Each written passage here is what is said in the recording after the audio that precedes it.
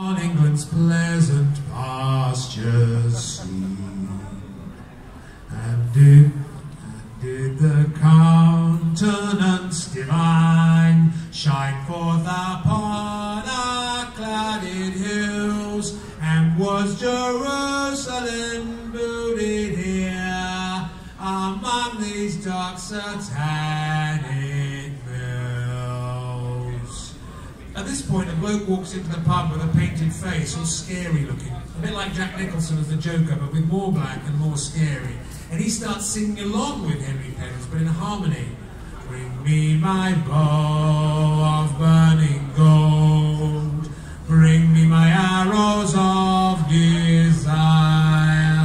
Bring me my spear, O clouds unfold.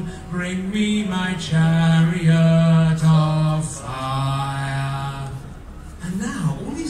kids, well, not just kids, all sorts of people, come into the pub and start singing with Henry and the bloke with the painted face.